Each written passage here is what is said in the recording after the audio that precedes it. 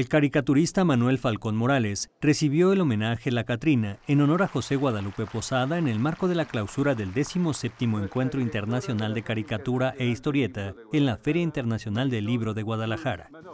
Hoy, este homenaje está dedicado a un monero muy querido por los tapatíos.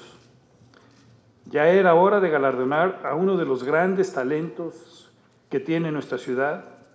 Estamos seguros que nuestro homenajeado representa a toda una generación de artistas gráficos jaliscienses y estamos muy contentos de rendirle este homenaje. Me refiero desde luego al cronista, periodista y comunicador Manuel Falcón. El dibujante, originario del estado de Tamaulipas, quien ya cuenta con 45 años de trayectoria como caricaturista político, habló sobre el futuro de moneros y caricaturistas en la era digital. Eh, uno hace la sátira destructiva, pero como que en el momento en que lo hacemos es como el aguijón que pica la avispa y se muere con el, al picar la avispa. Eh, por lo efímero y lo transitorio se, se le va el significado una vez que pasa la etapa. Por eso hay que publicar diario. Continuar ahora en la era digital, que es el gran desafío de que el vértigo, por ejemplo, de Twitter, ya nos enseñó Donald Trump todo lo que se puede hacer con Twitter, ¿verdad?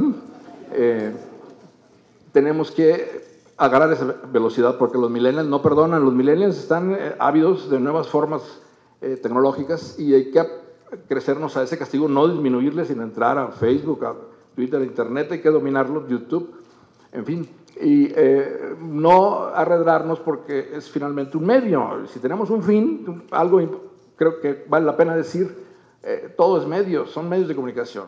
Con información de Manuel Bello e imágenes de Víctor Barbosa y edición de Carolyn González, Notimex.